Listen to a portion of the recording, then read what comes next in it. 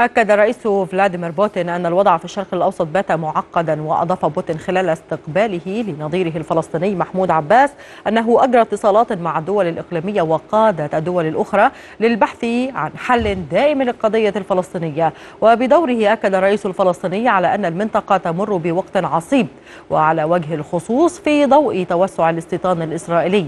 كما عبر عن رفضه وعدم رضاه عن المحاولات الأمريكية لفرض قراراتهم على أكثر المشاكل حساسية ومنها القدس.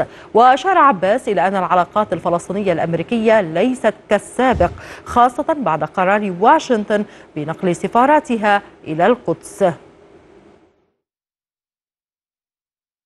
طبعا بالنسبة لموضوع علاقاتنا مع الولايات المتحدة الأمريكية تعرفون أننا الآن أوقفنا هذه العلاقات بسبب ما أطلقوا عليه اسم صفقة العصر والتي بدأوها بنقل سفارتهم إلى القدس والاعتراف بالقدس عاصمة لدولة إسرائيل.